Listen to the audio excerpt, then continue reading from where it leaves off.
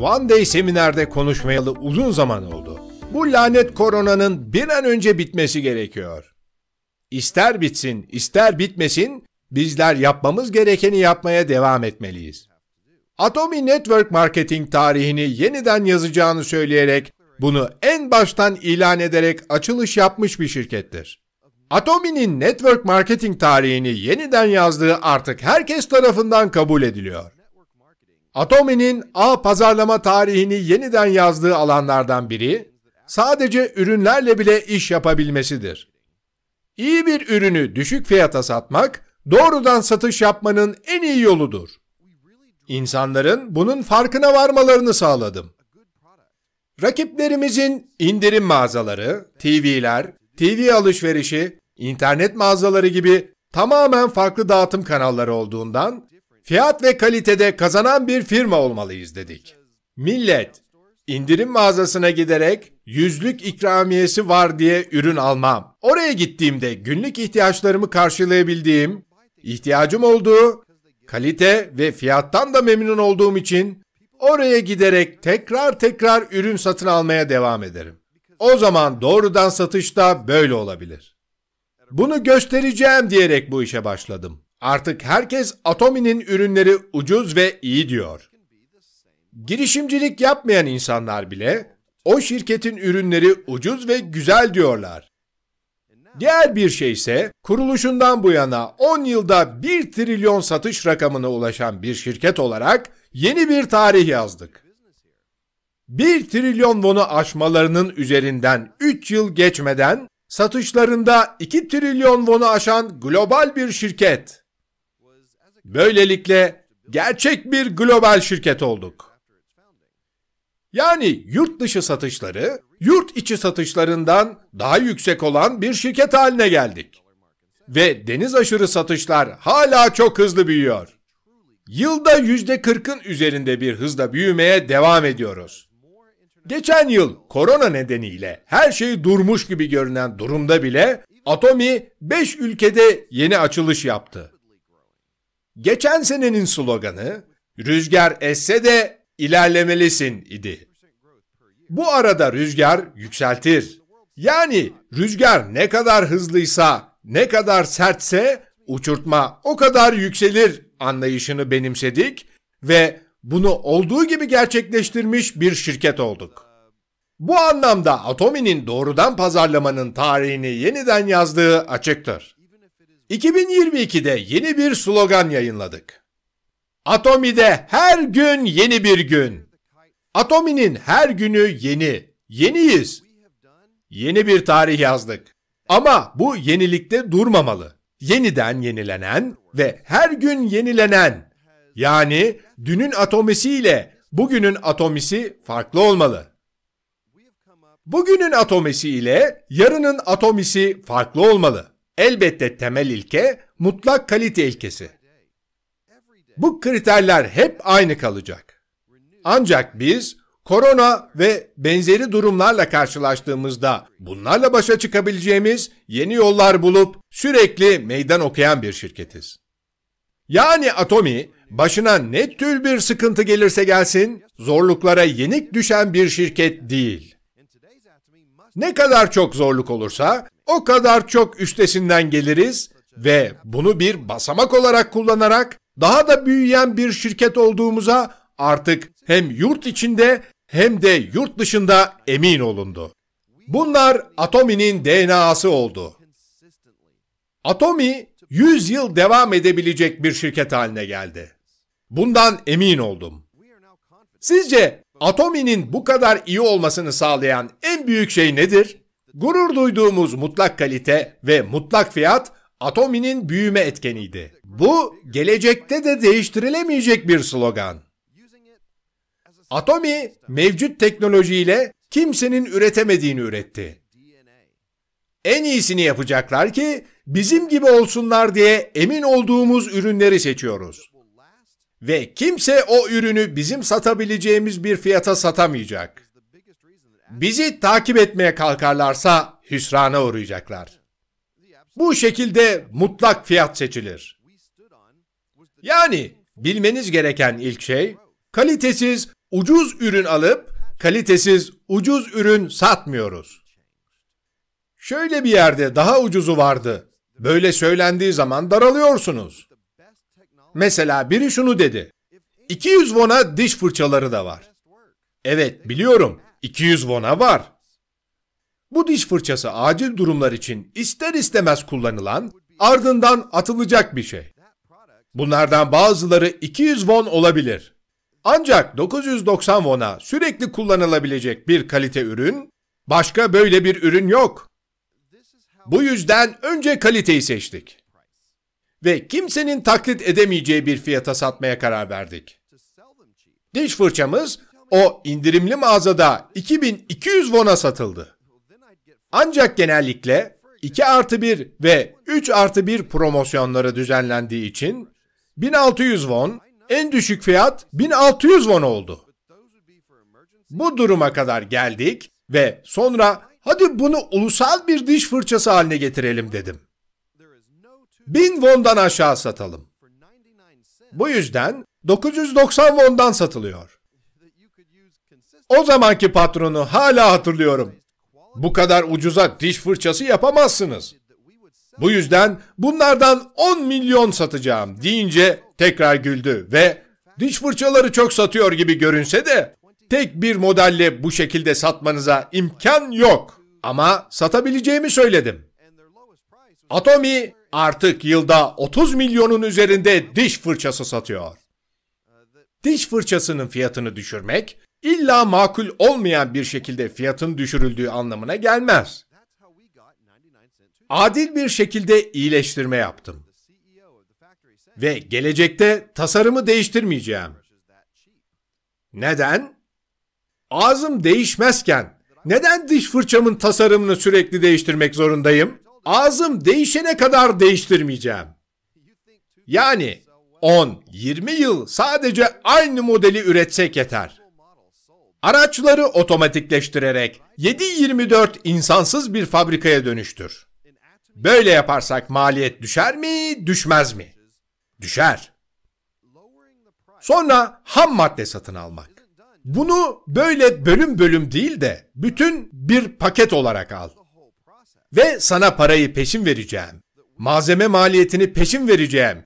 Nakit götür ve satın al. O zaman ham madde fiyatı yaklaşık olarak yüzde yirmi düşer değil mi?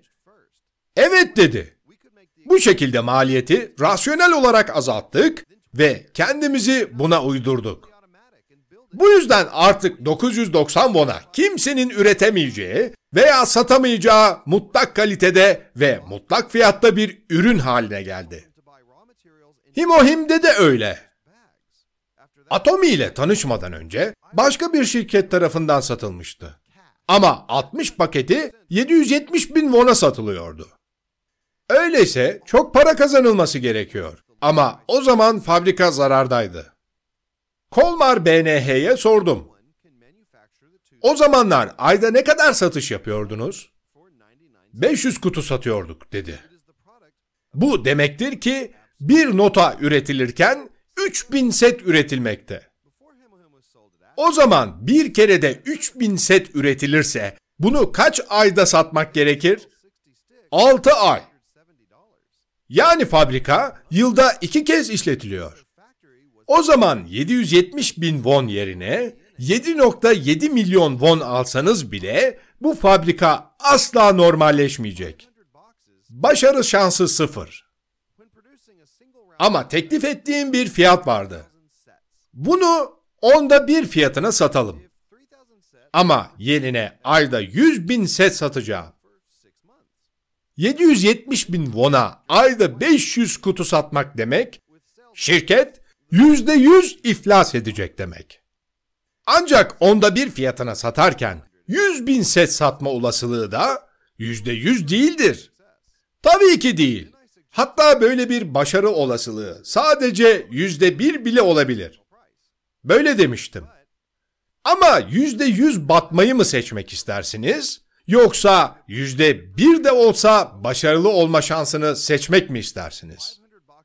Böyle deyince ne demek istediğimi anladı. Böylelikle fiyatı düşürmeye başladık. en başından fiyatı tamamen düşüremedim. Öncelikle 30 paket yapıp fiyatını yarısının yarısına düşürdüm. Ayrıca seri üretim yaparak fiyata dokunmadım ve 60 pakete yükselttim. Böylelikle şu anki fiyatına ulaştım. Yani şimdi neredeyse onda birine düştü. Ayda 200 bin kutuyu hayli hayli aşan sayıda satılıyor. Ulusal gıda takviyesinin ötesine geçerek artık tüm dünya ve tüm insanlık için olan bir gıda takviyesi olarak kendini kabul ettiriyor. Bu yüzden Atomi en başından beri mutlak kalite ve mutlak fiyat peşinde oldu. Hala da onun peşindeyiz. Gelecekte de böyle olmaya devam edeceğiz. Atomi'de çalıştığınızda ayda 50 milyon won ve 100 milyon won kazanabileceğiniz bir plan yaparak bu işe başlamanız iyi olur. Ama insanların ayda 50 milyon won mu? Oo, 5 milyon won bile kazansam bana yeter. 5 milyon won bile kazanmadım. Ayda nasıl 5 milyon, 50 milyon won kazanayım? Ayda 100 milyon kazanmak mı? Bu mümkün mü? diye düşünüp hedeflerini sürekli azaltma eğilimi var. Ama gördüğüm kadarıyla bunun nedeni para hakkında fazla bir şey bilmemeleri. Paranın doğasını bilen zengin insanlar, paranın ne tür bir karaktere sahip olduğunu söylemiyorlar. Çünkü zenginlerin çok korktuğu bir şey var. Zengin insanlar dünyadaki herkesin zengin olacağından korkarlar. Ama ben iyi bir zengin adamım. Bu yüzden size biraz paradan bahsedeceğim. Millet, az para kazanmak mı daha kolaydır yoksa çok kazanmak mı? Sıradan insanlar çok para kazanmanın çok daha zor olduğunu düşünürler. Ama bir düşünün. Bir alışveriş merkezi müdürü, mahallede büyük bir süpermarket işleten bir müdür ve küçük bir mekan işleten büyük anne. Para kazanmakta en çok kim zorlanıyordur? Evet, küçük mekan işleten büyük anne. Daha az para kazanan büyük anne en çok zorlanarak çalışan kişidir. Yani ayda 10 milyon won kazanan bir kişinin işi, ayda 1 milyon won kazanan bir kişiden çok daha kolay. Ayda 100 milyon kazanan insanlar var. Ayda 1 milyar kazananlar var. Var böyle insanlar. Böyle insanlar, çok para kazananlar, para kazanmak kadar kolay bir şey yok derler. O zaman ne yapmanız gerektiğini düşünüyorsunuz? Çok para mı kazanmalısınız yoksa az para mı kazanmalısınız? Çok para kazanmayı düşünmelisiniz. Şu an inanılmaz bir şeyden bahsediyorum. Evet, aklınızı başınıza alın. Ama doğruları söylüyorum. Aksine çok para kazanmayı düşünmelisiniz. Çünkü 300 ila 700 kazanılan pozisyonların iyi yerler olduğu düşünülüyor. Çok fazla insan oraya ulaşmaya çalışıyor. Bu yüzden çok fazla rekabet var. Ama tam tersine ne tür bir iş ayda 50 milyon won ve 100 milyon won kazandırır? Gerçekten insanlar bu konu hakkında düşünmüyorlar. Bu yüzden bu alan geniş. Yani hedefleriniz ne kadar büyükse o kadar iyidir. Bir şey daha var. Bunun mümkün olup olmadığı. Örneğin küçük bir mekan işleterek 100 milyon won kazanacağım. Böyle düşünmemelisiniz. Böyle bir işte işler ne kadar iyi giderse gitsin kazanılacak rakam bellidir. Satış denilen şey örnek vermek gerekirse restoranda 20 koltuk var. Burası her yemek vakti dolu olsa bile satış miktarı ve kar miktarının ne kadar olacağı bellidir. Ama şimdi Atomi işi sadece yurt içinde değil, tüm dünyada yayılabilir. Yani bu rakam 50 milyon veya 100 milyon olabilir. Bunun için hedeflerinizi yüksek tutmalısınız. Fakat çoğunlukla, ah o kadar çok kazanmak zorunda değilim. Eh 5 milyon, 2 milyon won kazansam bana yeter. Böyle düşünebilirsiniz. Hadi, tamam. Birinci adımda bunu yapabiliriz. Ama sonunda 50 milyon, 100 milyon won kazanacağım diye düşünmek zorundasınız. Atomi işi bazı insanlar için hiçbir şey ifade etmiyor. Normal insanlar böyledir.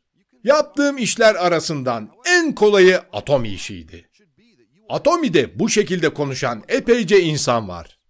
Evet, Imperial Master Wang Yeol Kim.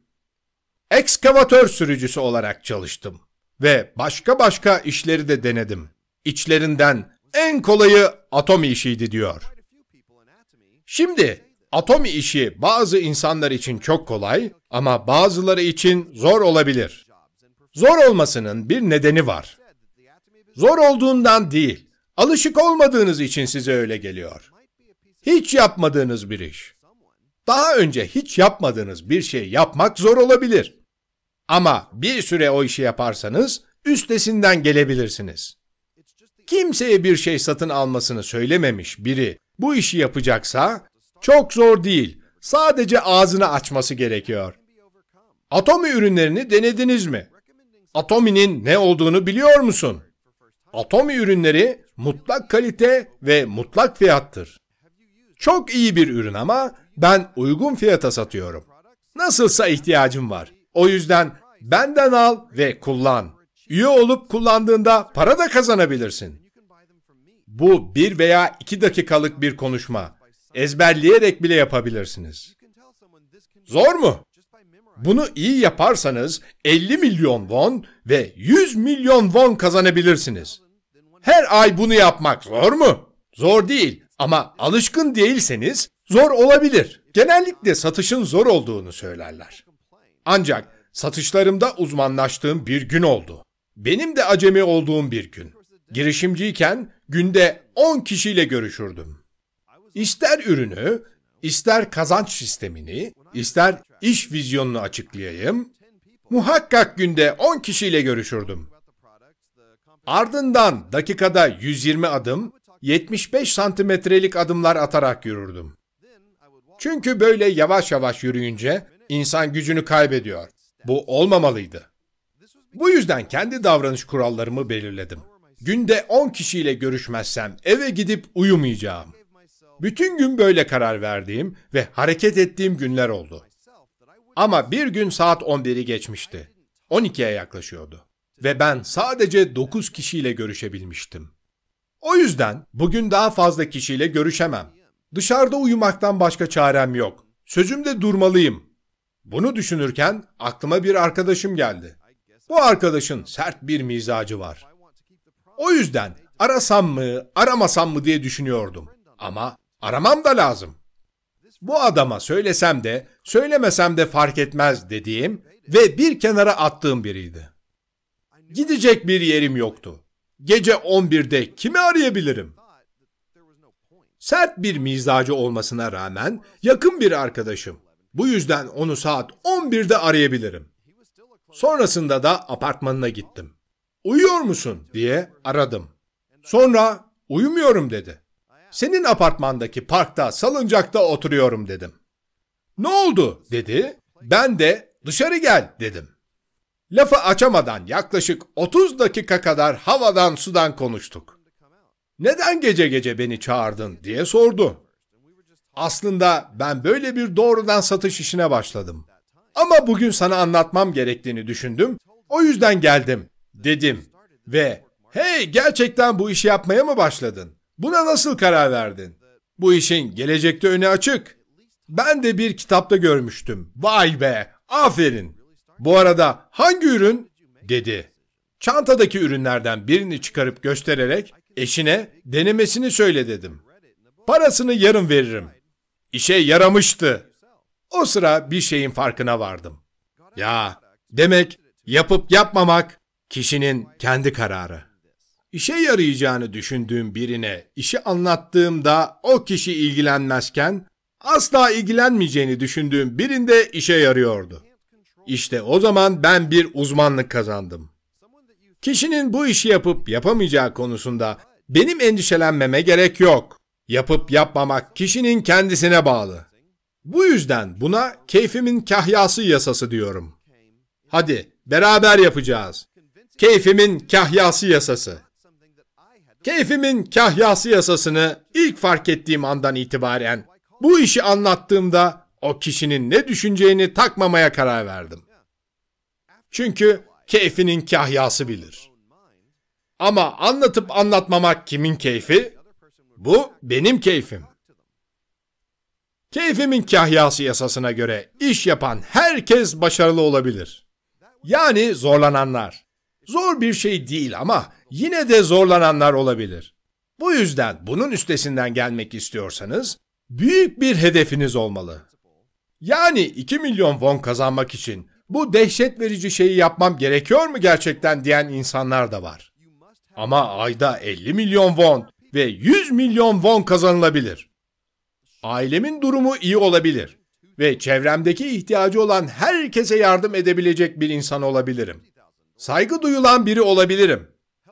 Mezunlar toplantısında kimse önümde cüzdan çıkarmaya cesaret edemez. Ben mezunlar toplantısına gittiğimde öyleyim. Biri ödemeye kalkarsa da, hey burada Han Gil var ya, sen kimsin de ödemeye kalkışıyorsun ha? diyerek önümde cüzdan çıkarmaya cüret edemeyecek hale geldi. Arkadaşlarımla buluştuğumda bile böyle yapıyorum. Sizler de bu pozisyonda olabilirsiniz. Ve ihtiyacı olanlar, aileniz, arkadaşlarınız ve akrabalarınız hasta olduğunda veya zor durumda kaldığında yardımcı olmak istersiniz. Ama bu sefer sadece üzülmekle kalmaz, onlara sahiden yardım edebilirsiniz. Ah! Yeğenlerim evleniyorsa onlara 30 milyon won veririm. Hayır, aylık komisyonum 100 milyon wonsa yeğenim evlendiğinde 30 milyon won vermeli miyim yoksa vermemeli miyim? 100 milyon won bile vermeliyim. 100 milyon! Aylık komisyonumu veremez miyim sanki? O zaman evdeki konumunuz ne olurdu? Vay halacığım, teyzeciğim, sadece vay be olur. Bu duruma gelirsiniz. Böylece evin direği olabilirsiniz. Üstelik size göre yaşlılık döneminiz karanlık olacaktı ama artık güçlenecek. Çocuklarınız ve hatta torunlarınız tarafından saygı göreceksiniz.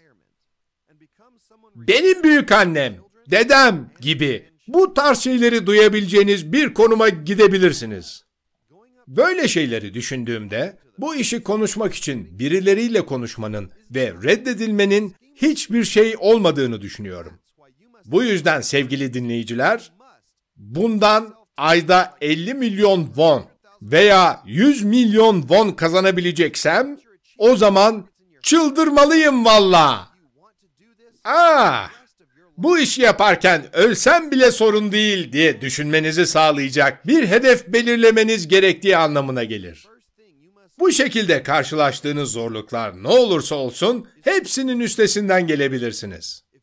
İlk olarak şirketi araştırdığınızda yapmanız gereken ilk şey bu ürünü satın alıp kullandıktan sonra satın almaya ve kullanmaya devam edip etmeyeceğinize karar vermektir.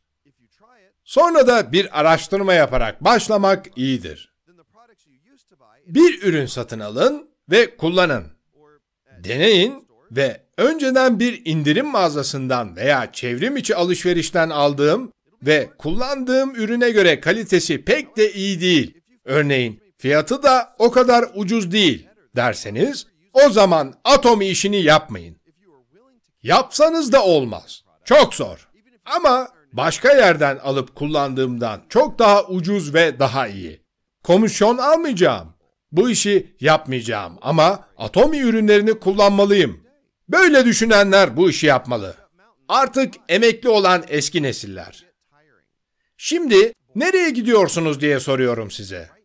Arkadaki dağa yürüyüşe çıkıyorsun. Ama artık dağlara gitmekten bıktın. Sinir bozucu.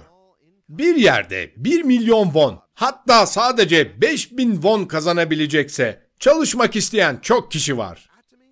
Bu yüzden bu insanlara iş sağlıyoruz dersek, ileride de Atomi sadece yerel satışlarını bile birkaç trilyon won artırabilir. Bir diğer konu 2030 kuşakları. Şu an iyi işler yok olmakta.